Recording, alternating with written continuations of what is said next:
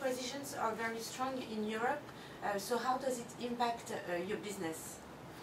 Um, we are second biggest uh, insurance company in Europe altogether by size. So we heavily depend on Europe and we're active in all major European markets.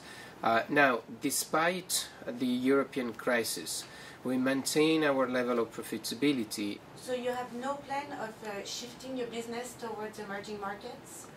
no, we have no plan particularly to move out of Europe. Uh, we are happy with our European position. Of course, we're investing um, also in uh, emerging markets, particularly in Asia. The retail customers in Asia um, have some similar needs and characteristics uh, um, of the European uh, customers. So we like to develop that further. But we have absolutely no view, no strategy, no intention to shrink Europe uh, and grow uh, the rest of the world. We simply want to continue growing in Europe and definitely we're committed to grow Asia too.